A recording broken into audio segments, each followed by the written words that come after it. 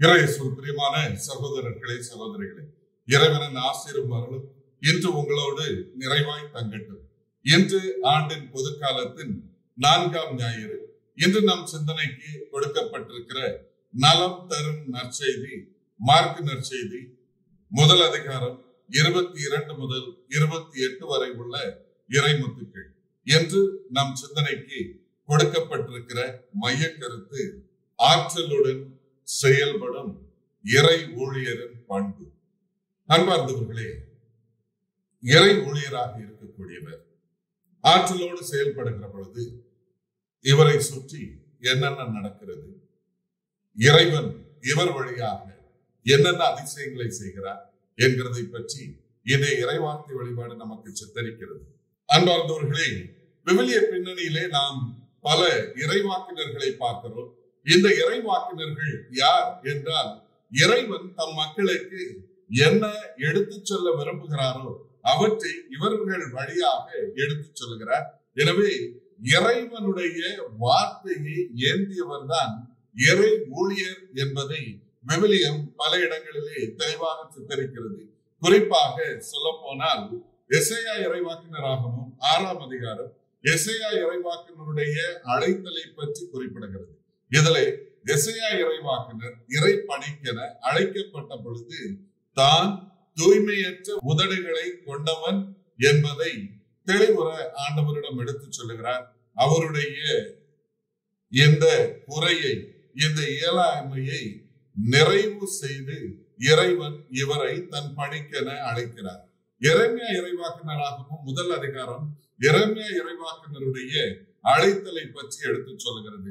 இதிலே இறைமையா இறைவாக்கினரும் தன்னுடைய வாழ்க்கையிலே தனக்கு இருக்கக்கூடிய இயலாமையை அதாவது தான் சிறு பிள்ளை தனக்கு பேச தெரியாது என்கிறதை எடுத்து சொல்லுகிறார். இறைவன் இறை வார்த்தையை எடுத்து சொல்லக்கூடிய தைரியத்தையும் திடத்தையும் அவருக்கு அளித்து நான் உன்னோடு இருக்கிறேன் என்று குறிப்பிட்டு அவரை தன் பணிக்கென அழைக்கிறார் என்று பார்க்கிறோம். இதே பாணியிலே எசைக்கியல் இறைவாக்கினருடைய அழைப்பை சித்தரிக்கக்கூடிய இடமானது. எசைக்கியல் இறைவாக்கினர் ஏட்டு சுருளை உண்டு இறை வார்த்தை எடுத்து சொல்லக்கூடிய அந்த தெளிவை பெறுகிறார் என்கிற நிலையை சித்தரிப்பதாக அமைந்திருக்கிறது. அன்பார்ந்தவர்களே இன்றைய நற்செய்தியானது ஆண்டவர் இயேசு கிறிஸ்து அதிகார தோரணையோடு ஜபக்கூடத்திலே போதிக்கிறார் என்கிறதை குறிப்பிடுகிறது. இது பரிசெயர்கள் சதிசெயர்களுடைய போதனை போன்று அல்ல அதை விட சிறந்ததாக இருக்கிறது என்று குறிப்பிடுகிறார். அன்பார்ந்தவர்களே இயேசு அதிகாரம் கொண்டவராக இருப்பார் என்று தொடக்க நூல் நாற்பத்தி ஒன்பதாம் அதிகாரம் பத்தாம் வசனம் குறிப்பிடுகிறது. சாமுவலாகமும் இரண்டாம் புத்தகம் ஏழாம் அதிகாரம் பனிரெண்டு முதல் உள்ள வசனங்கள் அரச பின்னணியில் தோன்ற இருக்கக்கூடிய மீட்பர் வருவார் என்பதை பற்றி குறிப்பிடுகிறது. இதைத்தான் தாவீது அரசர் தனது வாழ்நாளுக்கு பின்னால் கண்டிப்பாக மனித குலத்தை வழிநடத்தக்கூடிய அரசர் வருவார் என்பதை திருப்பாடல் இரண்டு ஒன்றிலே குறிப்பிடுகிறார்.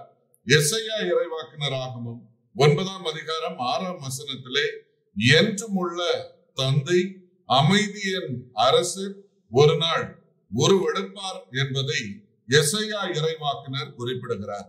இறைமையா இறைவாக்கினர் முப்பத்தி மூன்றாம் அதிகாரம் பதினைந்தாவது வசனத்திலே தாவீதின் நீதியின் தளிர் ஒன்று கண்டிப்பாக முளைக்கும் என்பதை தெளிவுற எடுத்து கூறுவதாக அமைந்திருக்கிறது. இதைத்தான் செக்கரியாகமும் ஆறாம் அதிகாரம் பனிரெண்டு முதல் பதிமூன்று வரை உள்ள வசனங்களிலே அரச குலத்திலிருந்து உருவாகும் ஒரு குரு கண்டிப்பாக வருவார் என்பதை இது குறிப்பிடுகிறது. எனவே இயேசு அரச குருத்துவ பின்னணியிலே வரக்கூடியவர் என்பதையும் அரசனை போன்று அதிகாரம் கொண்டிருக்கிறார் என்கிறதையும் விவிலியம் தொடக்கத்திலிருந்தே சித்தரிக்கிறது.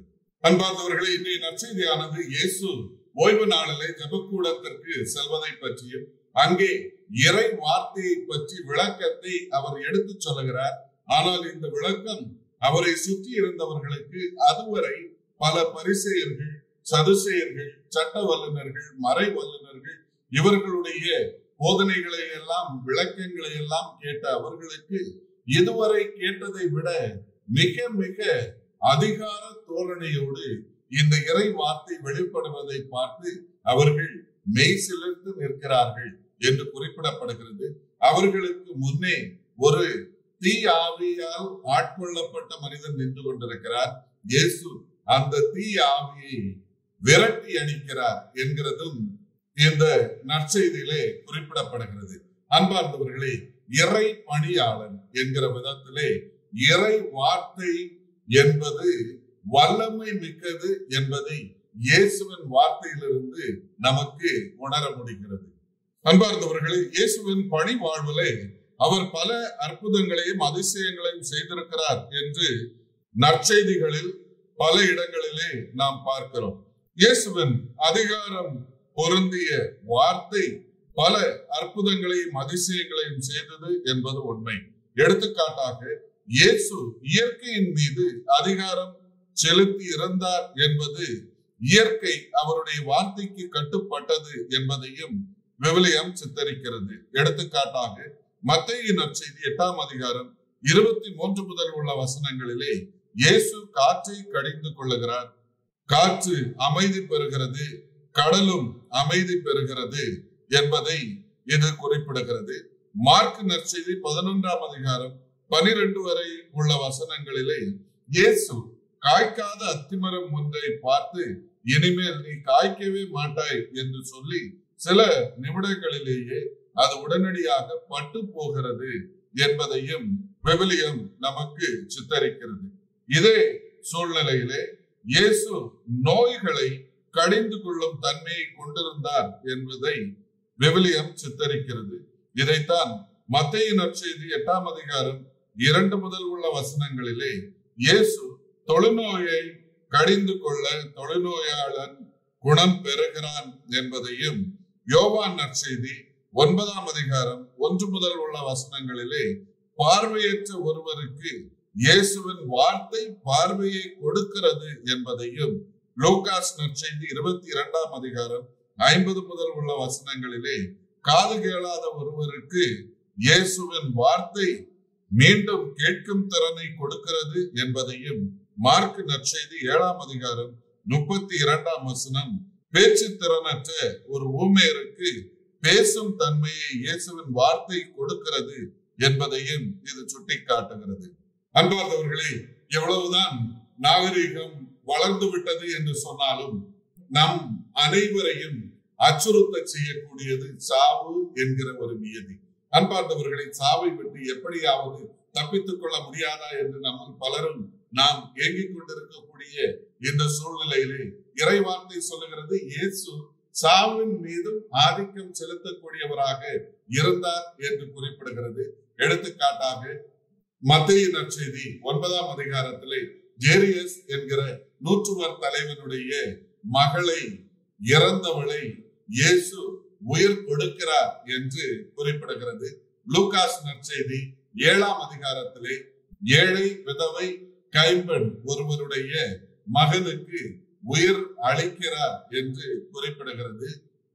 யோவான் நற்செய்தி பதினொன்றாம் அதிகாரத்திலே இறந்து போன லாசருக்கு மீண்டும் உயிர் அளித்து அவரை மீண்டுமாக தன்னுடைய குடும்பத்தோடு இணைத்து விடுகிறார் இயேசு என்கிற நிலையை இது சுட்டி காட்டுகிறது எனவே இந்த இறப்பு என்று நம் அனைவரையும் அச்சுறுத்தக்கூடிய இதை கூட இறை வார்த்தை ஆட்கொள்ளக்கூடிய தன்மை இதற்குரிய சக்தி இயேசுவிடம் இருந்தது என்பதை இது சுட்டி காட்டுகிறது அன்பார்ந்தவர்களே இறை வாக்கினர்கள் எவ்வளவு பலவீனங்களோடு வாழ்ந்தாலும் இறை வார்த்தை அவர்களை எப்பொழுது முழுமையாக ஆட்கொள்ள தங்கள் இதயங்களை திறந்தார்களோ அந்த நேரத்திலிருந்து இவர்களது வாழ்க்கை இறைவனது கருவிகளாக இவர்களை செயல்பட வழிநடத்தி செல்லுகிறது என்பதை சுட்டிக்காட்டுகிறது. இதே பாணியிலே இயேசு மனு உருவான இறை வார்த்தை இவர் தன்னுடைய வார்த்தையை மட்டும் போதிக்கவில்லை மாறாக தான் போதித்தவை அனைத்தும் தந்தையிடமிருந்து பெற்றிருக்கிறார் என்கிறதையும் இயேசு தெளிவுற குறிப்பிடுகிறார். அன்பார்ந்தவர்களே நம்முடைய வாழ்வு நம்முடைய இதயங்கள் எப்பொழுது இறைவனுக்காக இறை வார்த்தைக்காக முழுமையாக திறக்கப்படுகிறதோ அப்பொழுது நம்முடைய பலவீனங்கள் அகற்றப்பட்டு நாமும் இறைவனுக்கு உகந்த கருவிகளாக உருமாற கண்டிப்பாக இறைவன் நமக்கு வழி செய்வார் என்பதை இன்றைய இறைவார்த்தை வழிபாடு நமக்கு சித்தரிக்கிறது. இறைவனுக்கு உகந்த வார்த்தை பணியாளர்களாக நாம் மாற வேண்டிய அருளையும் ஆசிரியையும் பெற இறைவனிடம் தொடர்ந்து ஜெபிப்போம். இறைவன் உங்களையும் உங்கள் குடும்பங்களையும் நிறைவாக ஆசிர்வதிப்பாராக. ஆமேன்.